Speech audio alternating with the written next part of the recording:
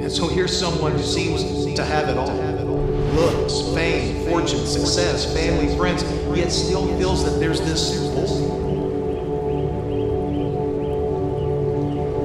So, a few years back, a writer for Forbes magazine did a poll for their readers, and they asked this question If you could say in one word what you want more of in life, what would that be? Now, as the results of the poll flooded in, it quickly became very obvious that there are these universal desires that we all have that exist well beyond our ethnicity, our gender, or our background. And a commonality that proves that no matter where we're from, what we've done, how we think, or how we vote, we're all, deep down, very much the same. So the results of the poll were published in a story titled The Top 8 Things That People Desire But Can't Seem to Attain.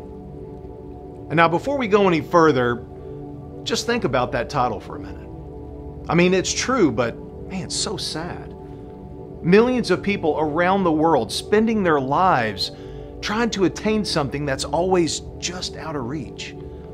Man, the list included joy and happiness, peace and freedom, balance, money, confidence, and fulfillment. Now, obviously, some things on this list are a means to an end, right? People think money and balance and confidence are ultimately going to bring them happiness. And so, as you boil this list down, you're left with this more foundational list of what everybody wants. And that's joy and happiness and peace and purpose. And you can ask anyone, anywhere, and at any time. No one's going to truly tell you that they don't desire these things or want more of them. Now, we might spend our lives trying to satisfy these desires through different means, but we're all spending our lives in an endless pursuit of them trying to fill this emptiness inside of us. And this void that at some point in our lives we've all felt. This was my life. And maybe to some degree you can relate. And on the outside, I looked like I had it all together. Yet satisfying these desires, filling this void, and it was always right out of reach. In my mind, it was always, man, once I make this amount of money, or once I achieve this level of success, once I get this thing or that, then I will have made it. And feel contentment and happiness and try to find purpose in my life. And my question to you is, what are you chasing? Man, what is that thing that you think that, man, if you can just get it or get more of it, then I'll be happy? Or maybe if you can find the right person or maybe you've tried so many things that you're left thinking, man, maybe there's something wrong with me. And maybe if I can just fix it or change this thing about myself, then I can find happiness and joy in my life. Then I'll be at peace. And maybe then I can find purpose in my life. And my next question for you is why? Why is that the thing that you think will fill that void? And the answer is at least partially because you've been programmed into thinking that it will. And if you're unfamiliar with the principle of mental programming, you need to be. And just by being aware of this principle can help alter the course of your life.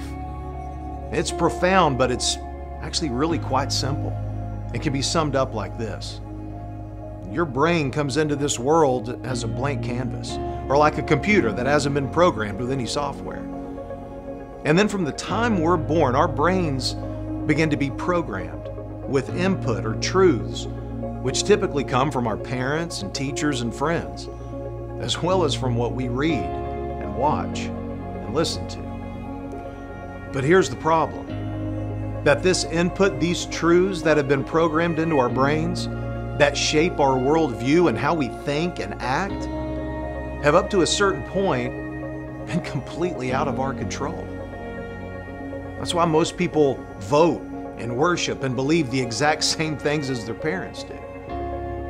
And as you think about this, you'll probably begin to ask yourself some questions like what if the truths that have been programmed into my mind aren't true at all?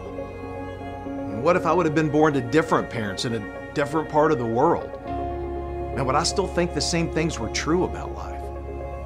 Would my beliefs be the same as they are now? And then this question this is the big one. And what if what we've been programmed into thinking will bring us joy and happiness and peace and purpose? The things that we all universally want won't actually bring us those things at all. And one of my favorite pro athletes of all time is Tom Brady. And if there's ever anyone that I can look at and say, man, this guy has it all, it's Tom Brady. He's won seven Super Bowls, considered by some to be the greatest football player of all time. He's got good looks, is incredibly rich, one of the most famous people on the planet, and was married to a supermodel. Yet in an interview with 60 Minutes in 2015, after winning his third championship, this is what he had to say. He said, Man, I'm making more money now than I thought I could ever make playing football. Now, why do I have three Super Bowl rings and still think that there's something greater out there for me? It's got to be more than this. And so here's someone who seems to have it all looks, fame, fortune, success, family, friends, yet still feels that there's this void that's yet to be filled. That something's still missing. And Tom Brady is living proof that none of the things that our culture makes us believe will bring us true fulfillment ever does. And the fact is, is that if we truly want to find what's missing in our life, and we have to make the decision to lay down these preconceived truths in our mind and begin to venture down a new path and seek the truth no matter where it might lead. Because I can tell you that it's on that path that you'll find the treasure that you've been searching for. And not a treasure that's hidden, buried, or hard to find, but one that was meant to be found. A treasure that wants to be found by anyone who will seek it. It's a treasure that wants to be found by you. And so if you're ready, hit play on this next video and we'll take one step closer to finding it.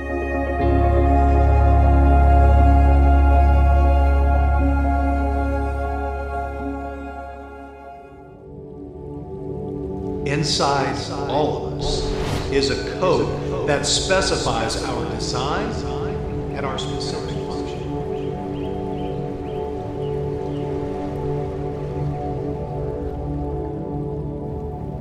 So, my wife bought me a smartwatch a few years ago for Christmas. But after I opened it up, I actually thought it was broken. I couldn't even get it to turn on.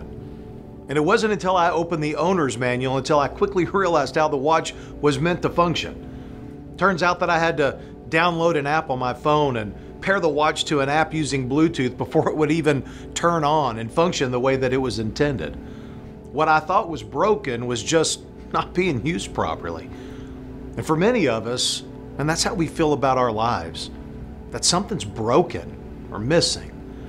Man, if we only had an owner's manual, right, that could reveal to us our intended function so that we can make sure that we're doing what we were meant to do and walking down the right path that'll lead us to the treasure that we seek.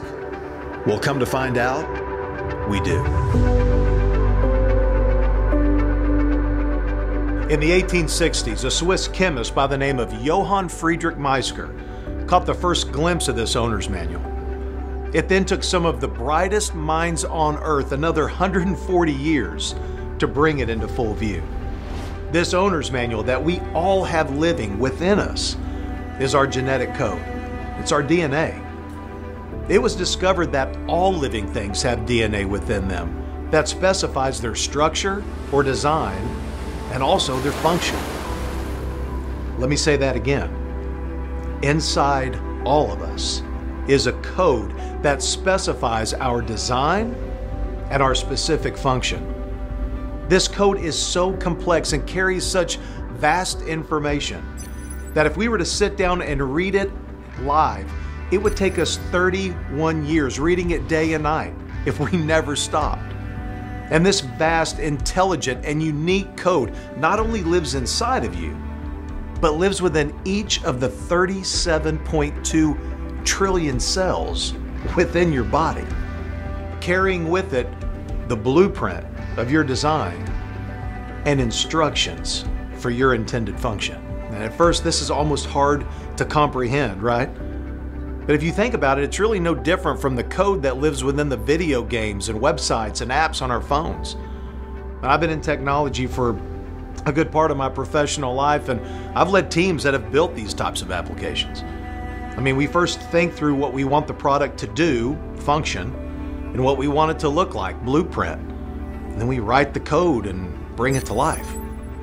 Amazon, TikTok, YouTube, Minecraft, they all have underlying code that dictates their design and function. The difference is that the code that we create for these applications is rudimentary compared to the vast intelligence within our own. And so the obvious question becomes who wrote it?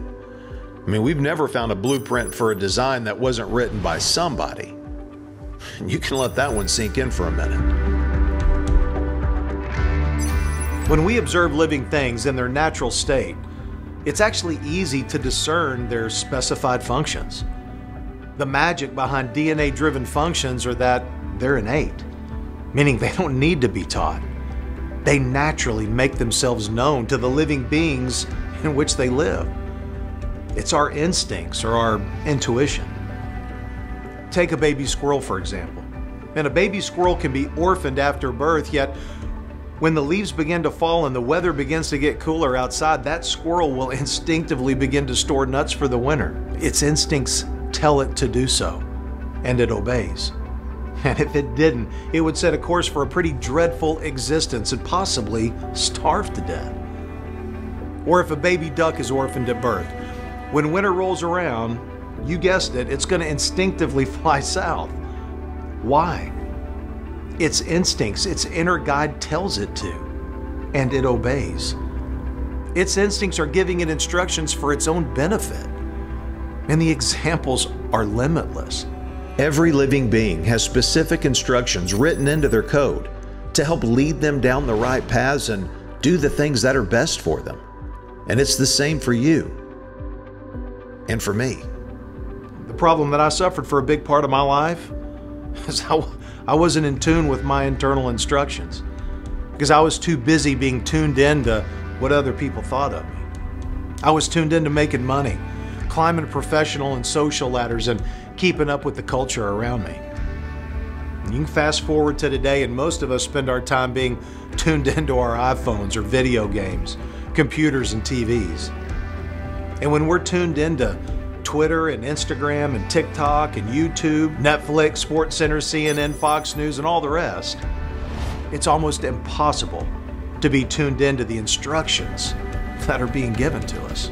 Sound speeding on episode 2. And in this next video, what we're going to see is that in the same way that we can easily see the intended functions of other species by viewing them in their natural state, that we can also look back at our own species to the very first civilizations before the addictions of technology and ambition and fame and fortune, and easily see the same innate behaviors of humans around the world playing out in harmony.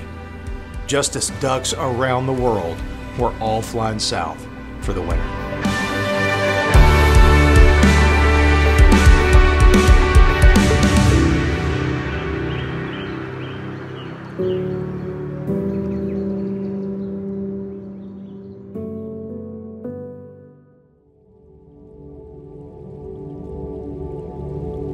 As these ancient civilizations unearthed, whether from beneath the overgrown rainforest in South America or from beneath the sands of the Middle East, there's always one constant. I have three kids. And either as you've experienced by having kids of your own or by being a sibling yourself, and you'll take it as no surprise when I say they are all very, very different from each other. My oldest daughter is artistic and is a writer, where my middle son plays sports and loves music. And then there's my youngest son, Knox, who we're all convinced is going to be the next Indiana Jones. Prepare to meet Kali. And Knox knows everything there is to know about ancient civilizations, sunken ships, hidden treasures, and is fairly convinced he knows the location of the lost city of Atlantis. And I wouldn't bet against him. And one of his favorite shows is called Lost Cities where modern technology is used to unearth ancient cities from long ago. As Knox and I have watched and studied these ancient civilizations, it's easy to begin to see the vast differences between them. From their physical traits, language, and dress to their cultures and customs. But what was even easier to see was that the same basic innate behaviors from these vastly separated people groups who didn't even know the others existed were playing out all around the world. And when I say easy to see, I mean can't be missed.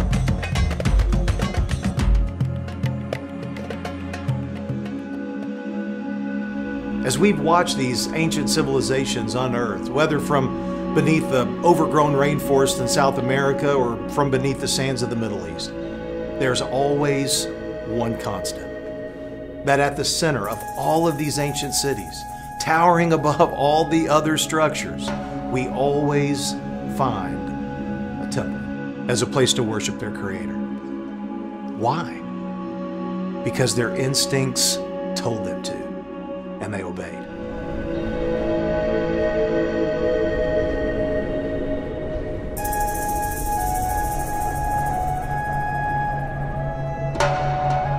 Do a quick Google search and you can find some of these amazing structures that have stood for thousands of years from all over the world spanning from Africa and Asia to Mesopotamia, North America, South America, and reaching all the way to remote island chains in the Atlantic and South Pacific. I mean, just think about that for a minute. From the beginning, the internal code of isolated people groups from every corner of the world has produced a belief that they were, one, a product of creation, that two, that they should build a monument to the one who created them, and three, that they should worship that creator.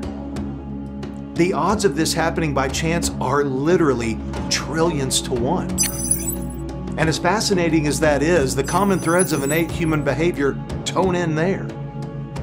Not only did our ancient ancestors and all humans in their natural state innately believe that they had been created, and feel a natural urge to worship their Creator. But they also all believe that they could, in some way, communicate with that Creator. From the beginning, our natural instincts have not only been to worship, but to pray. According to New World Encyclopedia, anthropologists now believe that the earliest humans practiced something that we would recognize today as prayer with the first written prayers dating back over 5,000 years. Again, when we look at the mathematical odds of isolated people groups from around the world all building temples of worship, the numbers are trillions to one. But when we add in the fact that they also all believed that they could communicate with that Creator, the numbers become unfathomable. The only plausible explanation is that they were acting on instinct, written deep within their DNA. And the problem is, is that many people have been sold the lie that by accepting this primordial truth, they can no longer believe in science, when in fact, this is the most scientific explanation for human behavior that currently exists. In October of 2004, Time magazine published an article which was featured on the front cover titled The God Gene. Does our DNA compel us to seek a higher power? Believe it or not, some scientists say yes. The article explains how molecular biologists now believe that they have located the exact gene or gene patterns in our DNA that produces these very actions.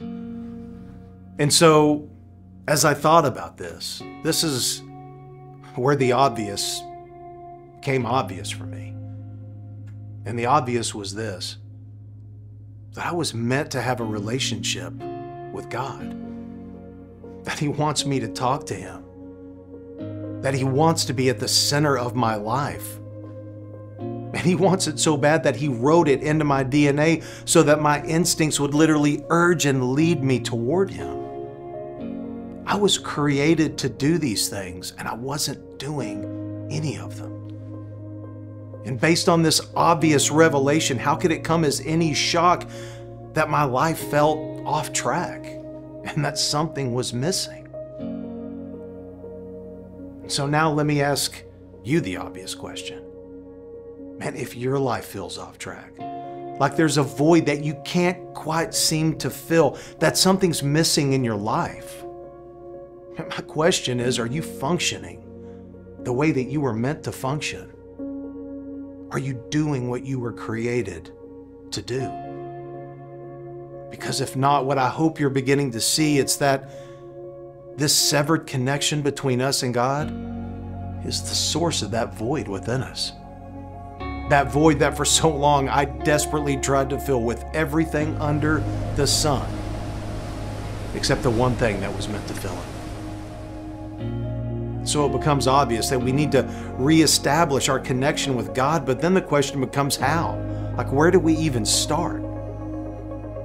And in trying to answer that question, I spent a good 10 years of my life studying different world religions and Stoic philosophy, practicing yoga and meditation, and reading more self help and New Age books than I can remember.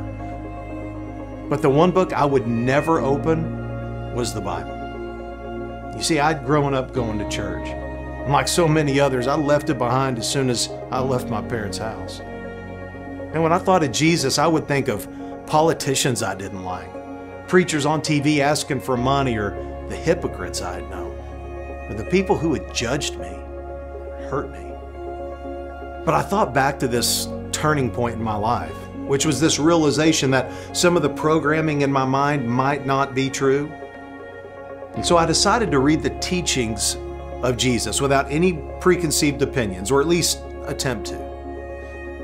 And as I read, what I began to find was Jesus saying that, and he didn't come to judge people, but rather to save them.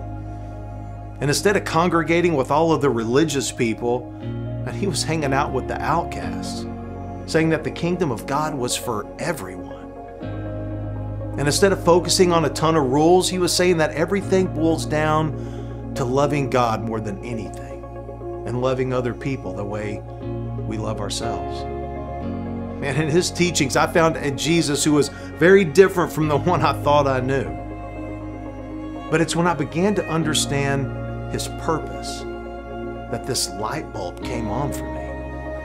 And I began to think back to all of the ancient civilizations from long ago and realized that there was this other common thread of instinctive human nature that I had overlooked.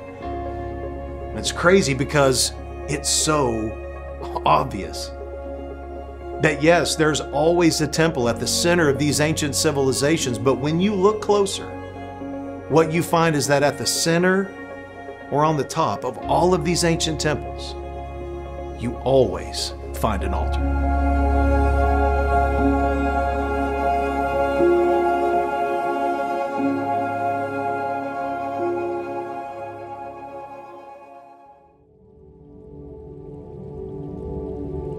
Odds of this are trillions and trillions to one, leaving the only explanation that it was instinctual. But why?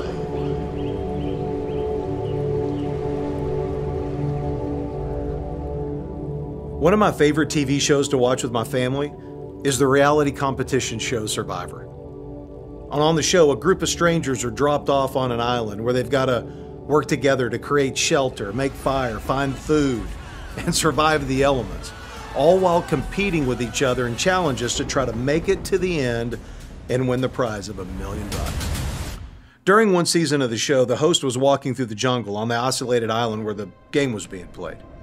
And he was telling the story about the indigenous people who had lived on the island long ago.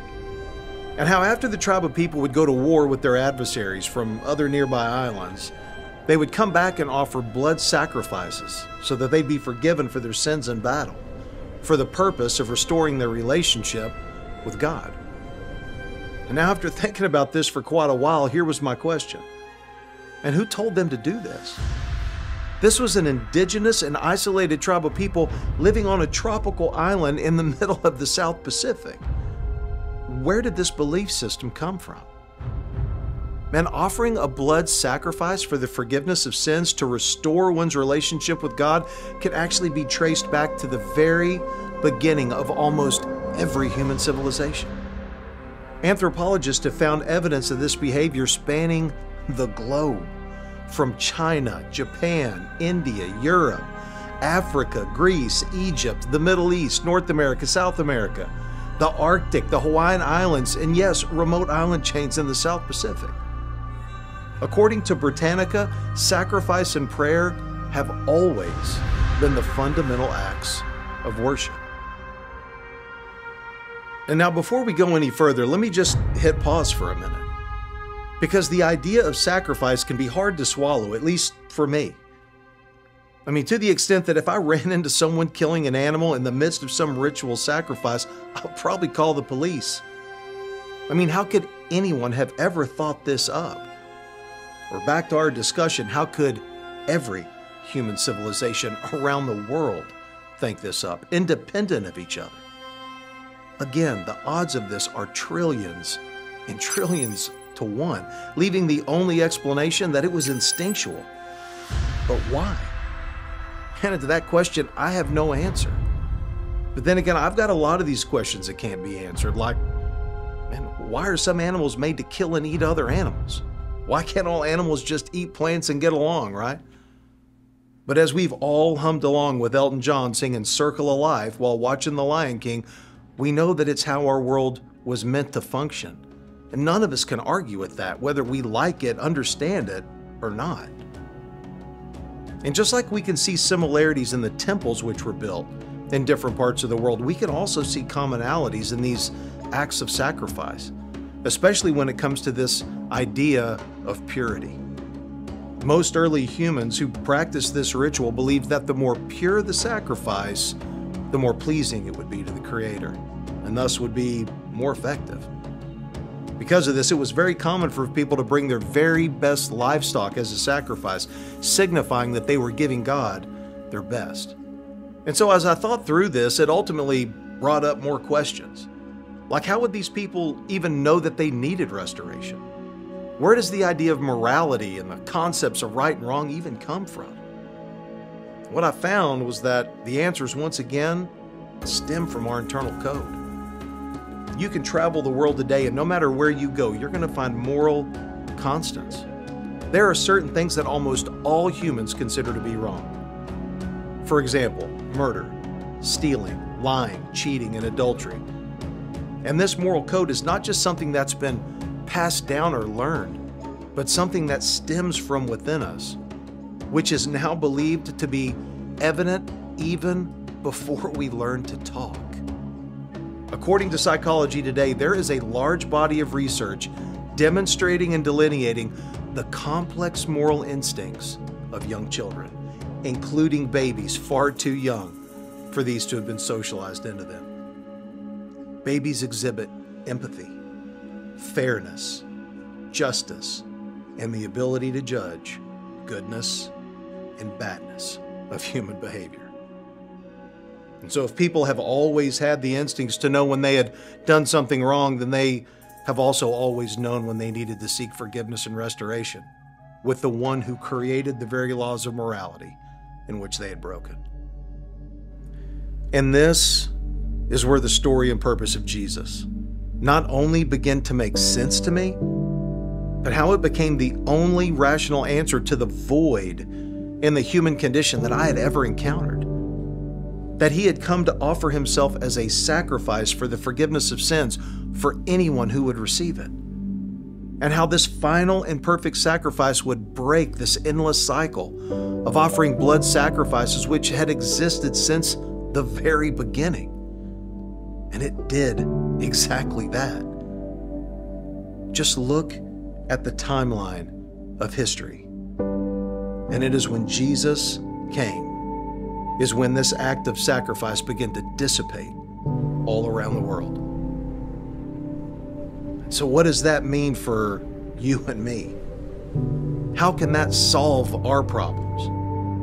Bring us happiness and peace and purpose in this life. And in this next and final video, we'll find those answers together.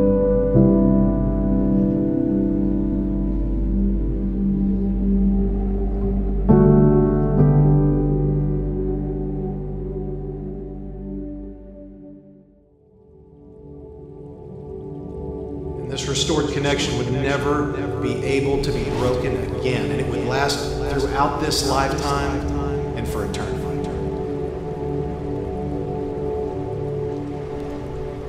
There are only a few stories that have had such an impact on our world and culture that when you hear them mentioned, you know exactly what's being talked about. Star Wars, Harry Potter, Lord of the Rings, The Matrix. And you've at least heard of these stories, if not seen these movies multiple times. And outside of great writing, acting, and special effects, the one thing that these stories have in common is that at the core of these stories lies a prophecy of a Savior. I mean, even the Lego movie is based on the prophecy of the master builder who's going to save the world. Great movie, by the way. I am a master builder! And the reason this idea resonates with us the way it does is because it stems from the most famous story ever told, which is the story of Jesus Christ.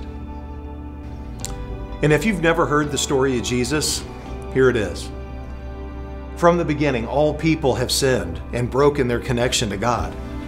And since that time, people have built altars and prayed to God and have offered sacrifices for forgiveness, but have never been able to permanently reestablish that connection, to fill that void within them that only God can fill. And so, out of His love for us, God sent a perfect and holy sacrifice for anyone who would receive it, which would restore their connection to Him and fill them with the Spirit.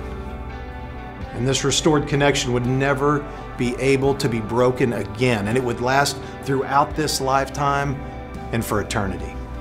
And for the longest time, I, I saw how this story and the purpose of Jesus checked all the boxes, how it seemed to be the answer to my problem, yet and I resisted surrendering to it. And I knew about Jesus, but I didn't know Jesus. And then one day someone suggested I read a book called Case for Christ. It was written by an agnostic investigative journalist who had done extensive research on the life and story of Jesus with the intent of proving it wrong.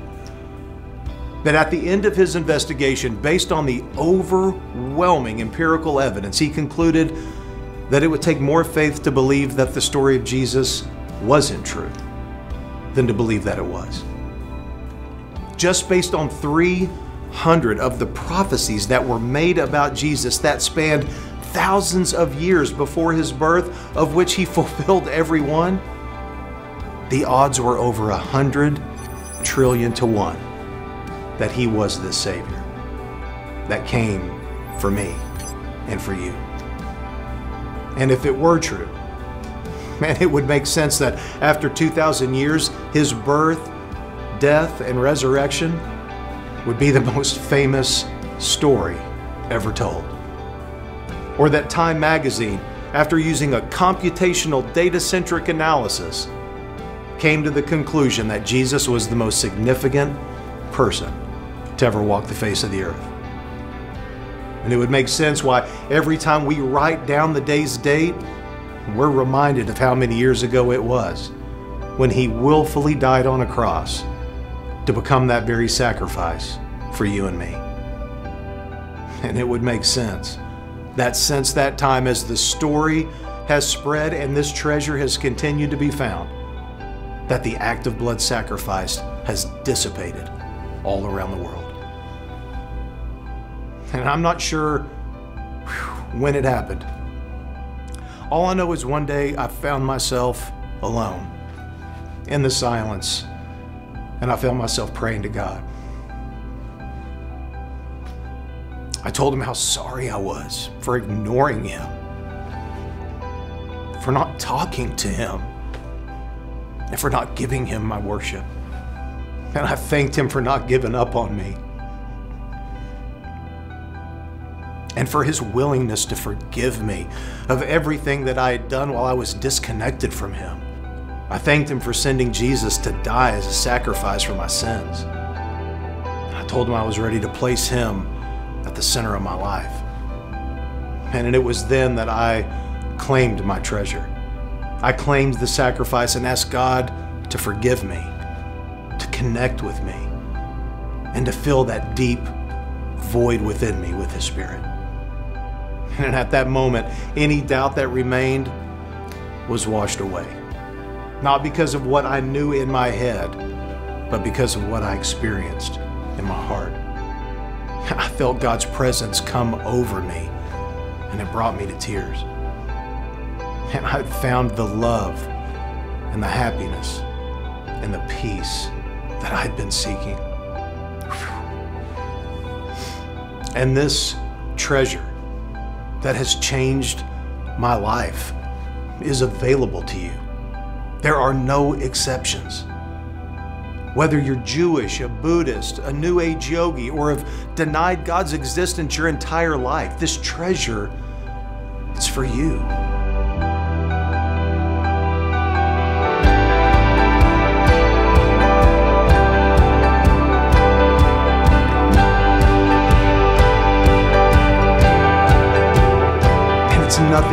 To work for or earn. It is a gift that was given to anyone who would accept it. Because God loves you. Because He's been waiting for you. And He wants to shower you with His love and His grace and His acceptance. And He wants a relationship with you. He has a plan and a purpose for your life. And if you're ready to finally fill that void inside of you, all you have to do is say this prayer with me right now. Just say, God, I'm sorry that I've ignored you for so long in my life. And thank you for not giving up on me. And I know that I'm not perfect and that I've sinned, but I'm ready to place you at the center of my world and follow you wherever you might lead me. Lord, thank you for sending Jesus to die and be the sacrifice for my sins. I claim that sacrifice now. Please forgive me and fill me with your Holy Spirit. And if you just prayed that prayer, you now have the Spirit of God living inside of you. And you have been born again into a life of joy and happiness peace and purpose.